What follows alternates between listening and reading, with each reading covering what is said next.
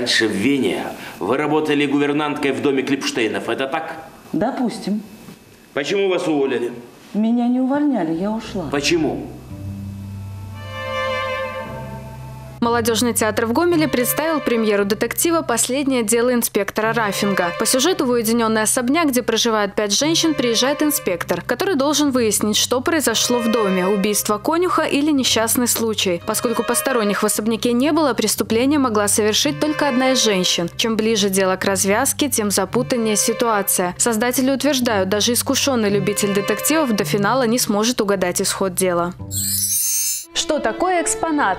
С одной стороны, это простой предмет, который когда-то служил человеку в быту. С другой стороны, необычный, ведь он избежал участи большинства ненужных вещей. Перестав им пользоваться, человек принес его в музей и подарил ему новую жизнь. Таких настоящих волшебников, музейных дарителей, чествовали на этой неделе в Музее истории города Гомеля. Эти люди смогли разглядеть за скромной внешностью предметов их историческое обаяние. Участники встречи познакомились с выставкой экспонатов музейных золушек, большинство из которых были современниками исторических событий 20 века. Каждый год фонды музея пополняются новыми артефактами и документами, которые дарят неравнодушные гомельчане.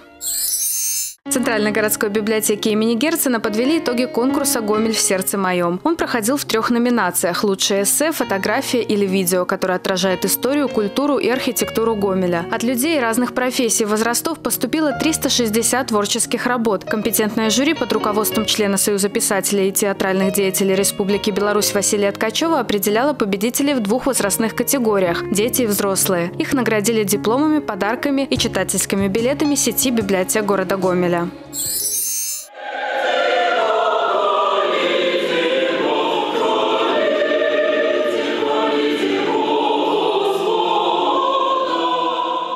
Бенефис заслуженного деятеля культуры Республики Беларусь, художественного руководителя и главного дирижера камерного хора областной филармонии Елены Соколовой прошел в колледже искусств имени Соколовского. Программу музыкального вечера посвятили знаменательному событию – 30-летию творческой деятельности маэстро. Камерный хор и его художественный руководитель – лауреаты множества международных конкурсов. В 2016 году Елена Соколова была награждена медалью Франциска Скорины за вклад в духовность и культуру Беларуси. Поздравить ее пришли преданные зрители зрители и коллеги, артисты и музыкальные коллективы филармонии. За свое творчество Елену Соколову наградили почетной грамотой областного совета депутатов.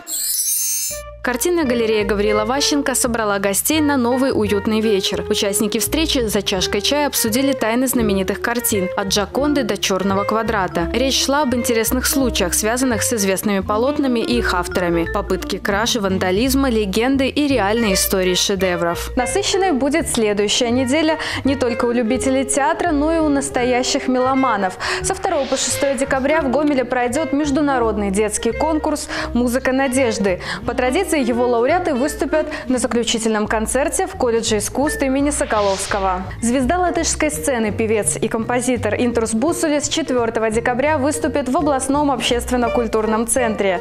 В репертуаре исполнителя джазовая музыка и поп-классика. Собственные песни он чередует с шедеврами Раймонда Паулса. 8 декабря в Гомельском городском центре культуры пройдет конкурс «Шлягер на гитаре».